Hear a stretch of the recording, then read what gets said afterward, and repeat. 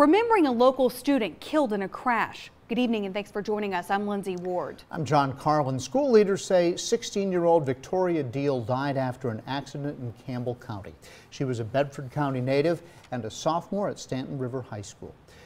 According to police, Victoria was riding in a Jeep with three other teens when it flipped on Route 29. 10 News reporter Rachel Lucas is live at the school today. So Rachel, certainly a tragedy for that community.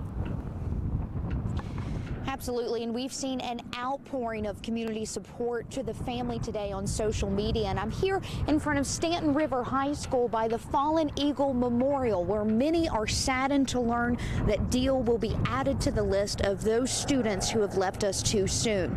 Now, earlier this morning, the restaurant where she worked posted a statement on Facebook that says Victoria will be missed by everyone here. Her spunk and laughter was such a blessing to have.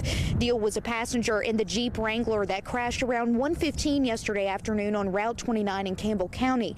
Now, three other teens were also inside the Jeep when it ran off the left side of the highway and flipped at least three times. She, along with the 18-year-old driver, another 18-year-old, and 16-year-old were all thrown from that Jeep.